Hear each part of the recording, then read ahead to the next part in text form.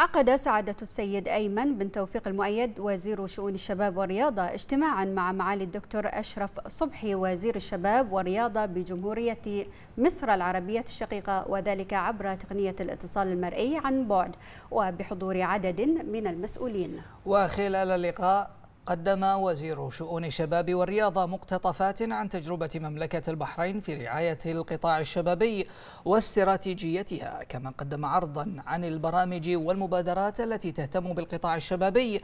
الرامية إلى رصد المهارات والكفاءات الوطنية لدعم أفكار الشباب ومهاراتهم وتمكين الشباب من تحقيق النجاح وتفعيل دور الشباب البحريني وتعزيز إسهامه في التنمية. ومن جانبه أشاد وزير الشباب والرياضة المصري بالعلاقات الأخوية المتميزة التي تربط جمهورية مصر العربية بمملكة البحرين وبالتعاون والتنسيق القائم بينهما في كافة المجالات.